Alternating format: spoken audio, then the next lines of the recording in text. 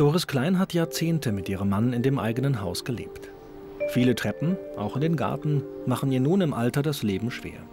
Du musst dich hier nicht mit so vielen Sachen rumschlagen. Wenn ich so alt wäre, wäre ich froh, ich hätte all diesen Stress nicht mehr. Wenn man alt ist, ist man halt verwurzelt mit seinem Heim. Ja. Ist es egoistisch gewesen, ihr das Heim zu empfehlen?